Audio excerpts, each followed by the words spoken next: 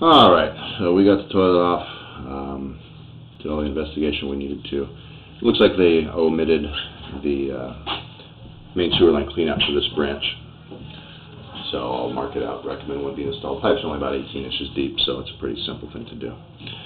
So I pushed all the way out to the connection here, to the primary line. And Basically, that primary line drops in from the top here. Let's go ahead and pull the camera out. This is all modern plastic piping again. Generally draining out okay.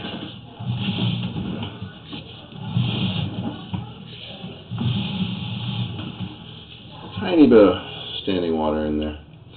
But, uh, you can see it is kind of flowing out still, so looks like it's just run pretty flat.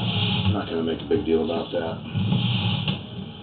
Overall, doing pretty good as far as the general function goes.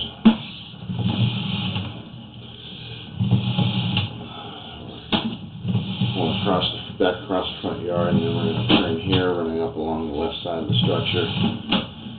And shortly, we'll come back around another turn. And right at that turn is where the discharge pipe for the sewage ejection pump ties in. Ran some water back there and saw it, uh, the pump turning on water out to this location. This is right where that, that is at here.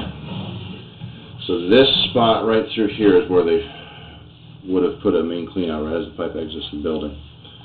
So, uh, go ahead and mark this out over on the left side, just outside below the bathroom window.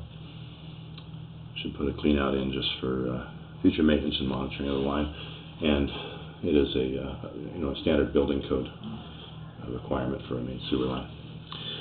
All right, so with that, we're gonna go ahead and wrap up the video portion of the examination for today. Um, other than installing the clean out, any other repairs, we want to, uh, keep an eye on that uh, settled section. And if that does worsen, then, uh, like I said, you would go ahead and just replace that entire three-foot section rather than, uh, having just that short little piece as a repair. That would be a little bit more standard way to do it. But for now, it doesn't really appear to be affecting the function of the system. Now, we do recommend that main sewer lines uh, should be examined after any significant seismic activity, and that main sewer lines be examined annually to monitor for changing conditions in the system. This is Mark Harrison with Sewer Line Check Professionals. Thank you very much, and have a pleasant day.